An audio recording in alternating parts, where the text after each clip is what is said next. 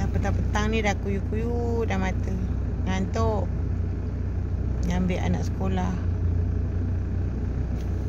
Ni bila sekolah menengah. Lagilah non-stop kan. Nak cerita pasal apa eh.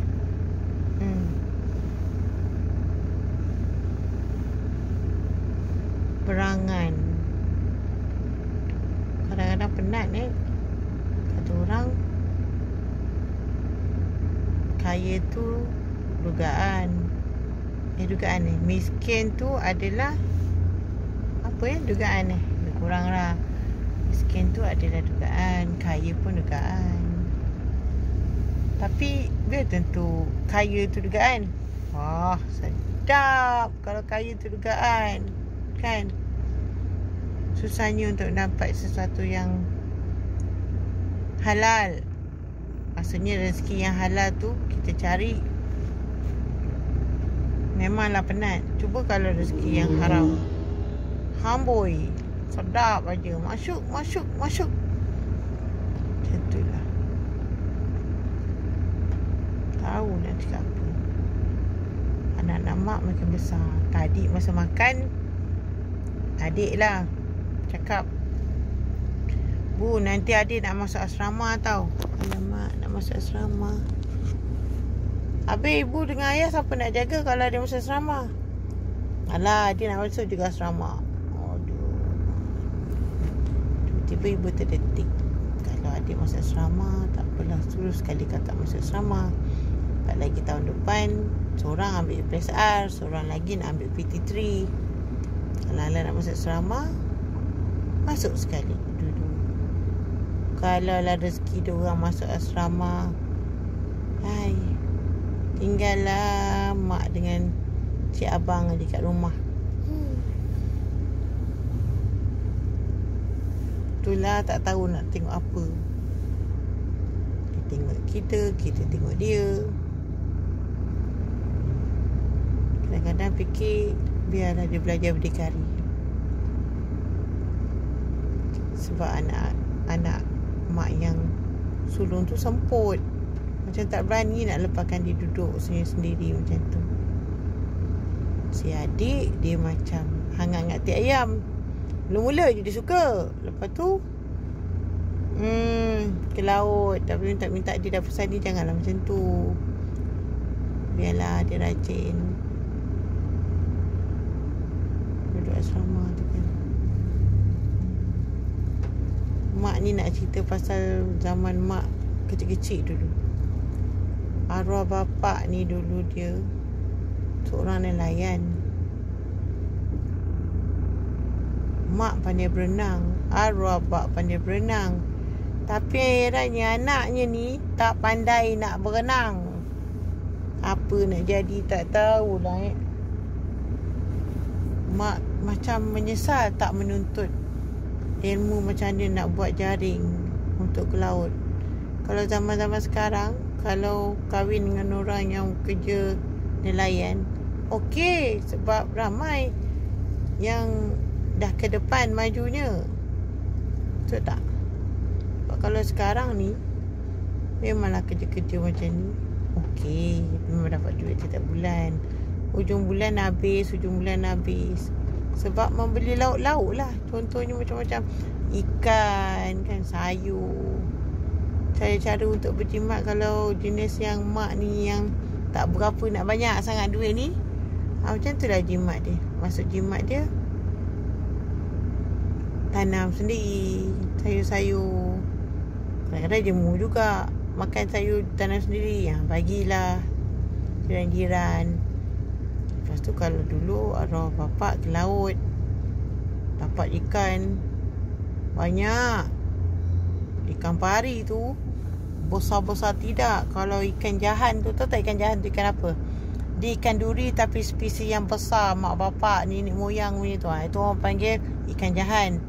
Ikan jahan tu macam suka emotion Selamba dia bawa dia kat belakang badan dia. Bawa balik rumah Itu kalau nak nak dikerjakan apa? Pakai kapak nak membelahnya. Dulu mana ada mesin-mesin. Sekarang dia ada mesin-mesin. Membelahnya pakai kapak. Hmm, arah bapak macam-macam. Kapak besar kapak kecil kuku kambing. Eh semua adalah gergaji besar gergaji kecil. Sebab arah bapak pandai ke laut pandai menukang rumah pandai apa pandai memasak. Hmm, orang lelaki sekarang jarang nak dapat macam arah bapak kita. Keseluruhannya dia pandai. Kalau dululah arwah bapak dapat uh, cari laut dekat tengah-tengah laut ikan dapat besar-besar kecil-kecil dia buang balik lah dalam laut. Kalau misal kata arwah bapak dah tak sihat um, ujung-ujung masa dia jadi nelayan bawa, bawa lah balik ikan duri duri belah apa duri belalang orang panggil Duri belalang tu sedap. Dia ekor dia warna kuning-kuning. Ha, gitu. Badan-badan dia warna kuning tu nama dia ekor belalang, uh, duri belalang. Telur dia banyak. Bila dah banyak macam tu sebaldi. Mak seorang yang nak siang. Rasa-rasa marah tak marah. Seorang-seorang nak menyayikan tu. Buang kepala, buang kepala, buang kepala. Ambil dia punya isi je. Sekarang bila rindukan nak makan ikan tu terkenangkan roh bapak. Beli, sanggup beli. Ha, sekarang ikan kecil-kecil macam tu pun harga dia dah RM78 sekilo. Jangan macam-macam. Itu masak gulai cair tu sedap gila. Ha, mak ada beli. Mak ada beli. Ha, ha air mak lepas. Nanti insyaAllah mak masak. Gulai gulai cair. Campur dengan sperm. Marvelous, marvelous. Kan? Aduh, hai. Kalau ketam, Dulu mana ada peti ais. Kalau ketam tu Balik pukul 2 pagi Duduk pagi lah Dia kejut anak-anak. Aroma Rebus ketam Kejut. Subuh-subuh hari Dah macam nak bersahur Makannya. Bangun Kata dia. Makan Makanlah. Tapi sedap juga. Itulah cerita dia Bila roh bapak dah tak kuat Mak lah. Pergi cari pucuk paku. Setiap hari dekat dalam uh, dekat benting nak lalu pergi ke laut cari siput. Hmm. kalau sekarang orang panggil boleh panggil bersamamu. Dulu dah tak ada dah bersamamu. Cari sendirilah siput cari sendirilah ikan pergilah mencari pucuk paku setiap hari. Balik sekolah tu pergilah pucuk paku. Pagi Jumaat. Hari Jumaat Sabtu tu cuti sekolah tu Pergilah cari pucuk paku. Lawan lain tak ada. Pucuk paku Pucuk paku Pucuk paku. Dulu masa Robak sihat uh, Dia ada Tanam kacang panjang Buah batang-batang Batang dia memang cantik.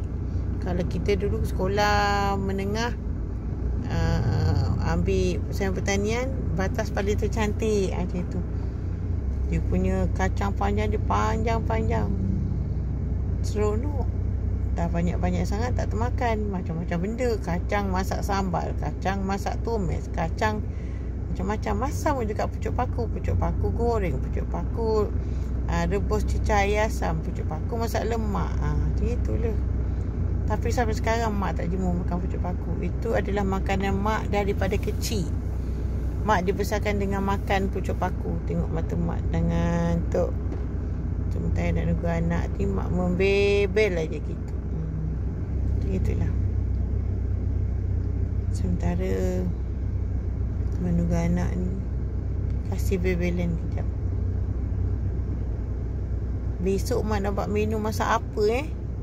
Masuk kat dalam Nazatu channel mak tu subscribe lah banyak-banyak. Mak punya Nazatu channel tu like lah banyak-banyak view lah banyak-banyak share lah banyak-banyak. Tak tahu nak cakap apa. Ha, itulah okey lah nanti kita masuk episod lain pula. Banyak tapi petang ni tak ada mood sebab mak mengantuk. Wah hujan ke? Air daripada hujan lah eh hujan oh nasib baik mak bagi payung dekat anak mak